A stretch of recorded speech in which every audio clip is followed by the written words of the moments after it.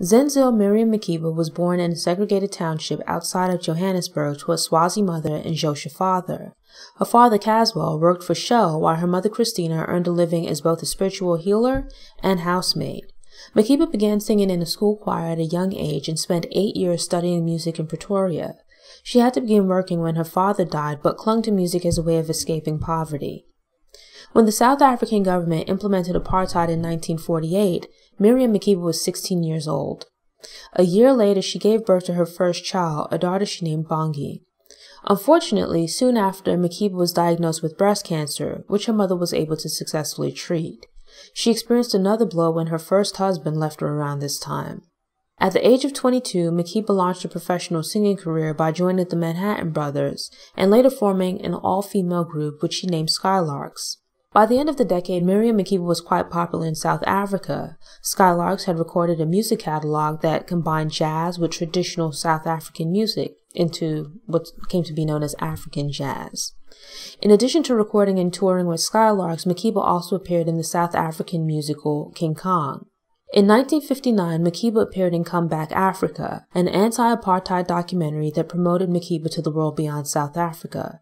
During that same year, Makeba left South Africa to appear at the film screening in Venice and also traveled to London and New York.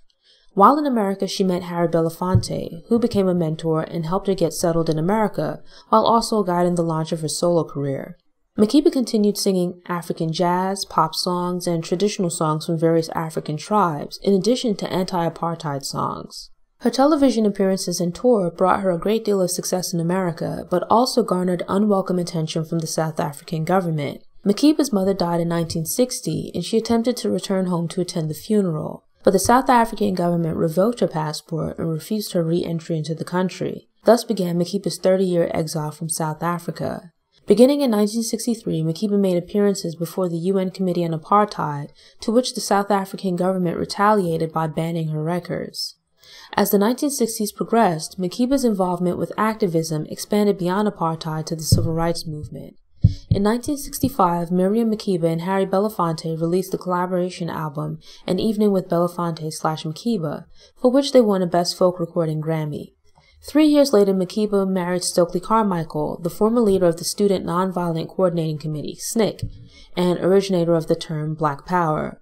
By the time the two met and married, Carmichael had shifted from the nonviolent civil rights movement to the militancy of the Black Power movement.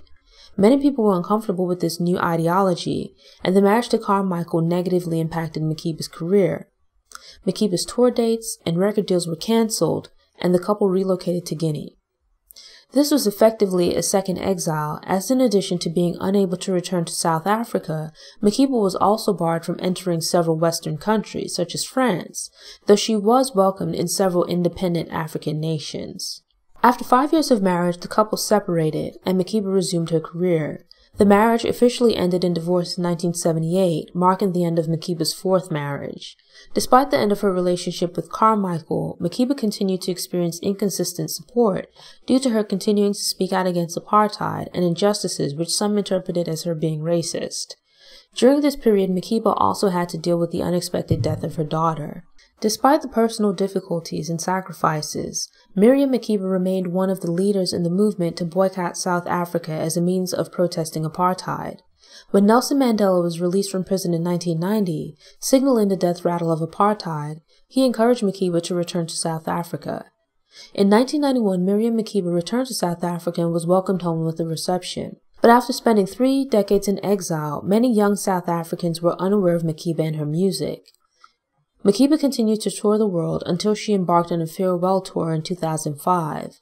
While performing on stage in Castel Volturno, Italy, Miriam Makeba suffered a heart attack and passed away shortly after at the age of 76. Thanks for tuning in. Show notes and sources are available on the Noire Histoir website via the link in the episode description. If you enjoyed this episode, please click the thumbs up button. You can also share it online, on social media, or with someone you think might enjoy the episode. Doing this will help other people find the show, which helps it to grow. If you aren't already subscribed to the Noire Histoir YouTube channel, I hope you'll subscribe now and return to get motivated, get inspired, and get more stories of Black history made and in the making. Until next time, take care.